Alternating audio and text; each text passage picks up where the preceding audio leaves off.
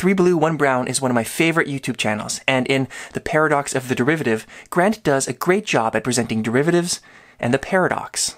Watch that video. In this video, I'll quickly go over Grant's arguments related to the paradox, and I'll present a different perspective on the issue, suggesting that his resolution was incomplete. But first, the paradox. This is a plot describing a car's journey. It's distance traveled as a function of time. For brevity, I'm not going to mention units. Okay, the derivative of the function at time t equals 0 is exactly 0. So at time t equals 0, is the car moving? And if not, when does it start moving? Okay, so here's my one minute summary of Grant's argument. Velocity is a measure of change, change in distance over change in time. It only has meaning across a span of time. Velocity at a single moment makes no sense. The derivative is what the velocity function converges to as delta t approaches zero. For this function, if we do the algebra, the derivative looks like this, where the change in time, represented by dt, approaches zero. If we assume that dt is non-zero, we can simplify this. And if we ignore the vanishingly small terms, we can simplify it further, giving us a derivative of 3t squared. The derivative is an approximation for velocity around a point. These highlighted words are important because they mean that a derivative of 0 at t equals 0 does not imply that the car is initially static. And the question, when does it start moving, references the idea of change in a moment, which doesn't exist. So the question makes no sense. From the usual perspective, Grant's argument makes perfect sense. But is there a different way to look at the paradox where the questions are valid and have exact answers? Consider this. This plot can be constructed using two approaches. One approach is to construct the whole from the parts, assembling points to form a continuum. Now, if we interrupt the construction, we're left with a finite number of points and a trivial continuum.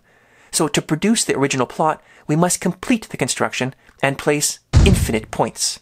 The other approach is to construct the parts from the whole, cutting up a continuum. With this approach, vertices, edges, and faces emerge as cuts are made. If we interrupt this construction, we're left with something non-trivial. If we complete the construction, cutting up this continuum in every possible way, we're left with something indistinguishable from the complete point-based construction. So let's set this complete continuum-based construction aside. The complete point-based construction is how we do math. Points are fundamental. So if you ask me, when does the car start moving? I'm going to interpret that as at what point or at what instant in time does the car start moving? And as Grant explained, that question makes no sense since change doesn't happen at a point. But what about the incomplete construction? Change doesn't happen at a vertex. So the car is static at the vertex corresponding to t equals 0. Change happens between vertices, along the edges, so the car starts moving at the first edge beyond 0. And if that edge is too long for our liking, we can cut it, and cut it, and keep on cutting it such that its length approaches 0. With this construction, that's what a derivative is. It's an endless, incomplete process. Now, it's worth repeating that the complete point-based construction is how we do math.